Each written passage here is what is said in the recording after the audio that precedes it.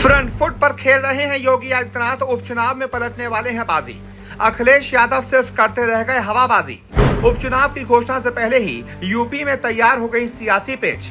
योगी ने अभी से कर दी अखिलेश की हालत खराब। अब बढ़ती जा रही है योगी और अखिलेश की तकरार।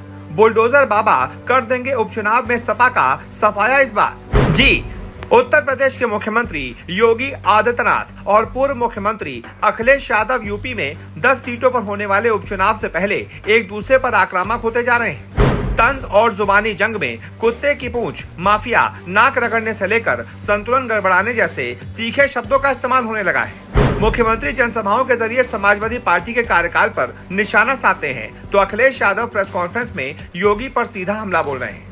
साथ ही सोशल मीडिया साइट एक्स का भी सहारा लिया जा रहा है। आखिर यह जुबानी जंग इतनी तीखी क्यों हो चली है?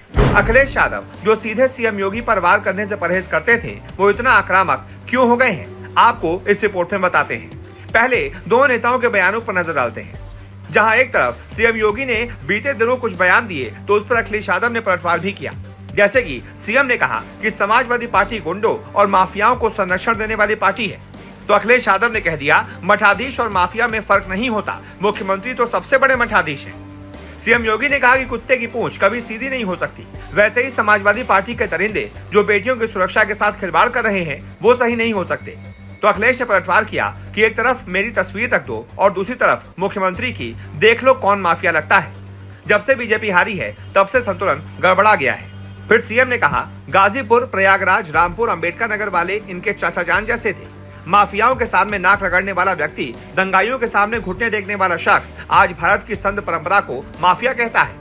तो अखिलेश यादव ने पलटवार किया कि भाषा से पहचानिए असली संत महंत, साधु वेश में घूमते, जग में धूर्त अनंत अब आप सोचेंगे कि आखिरकार ये बार इतना ज़्यादा बढ़ता क्यों जा रहा है? इस बार की धार तेज क्यों होती जा रही है? तो आपको बता दें 2014 के चुनाव के बाद से समाजवादी पार्टी लगातार कमज़ोर होती जा रही थी।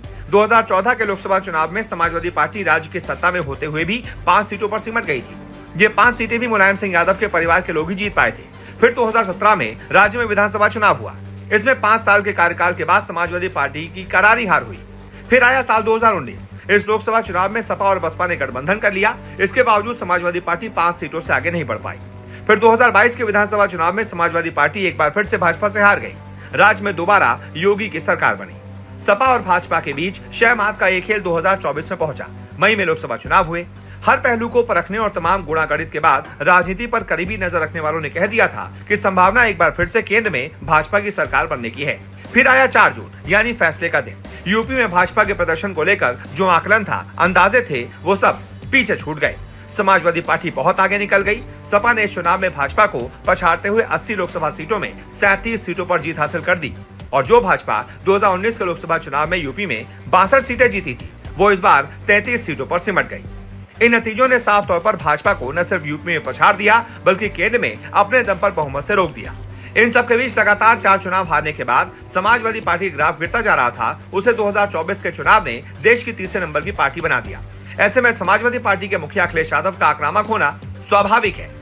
2024 की जीत के बाद अखिलेश और उनकी पार्टी 2027 में होने वाले विधानसभा चुनाव को लेकर आत्मविश्वास से भरी है।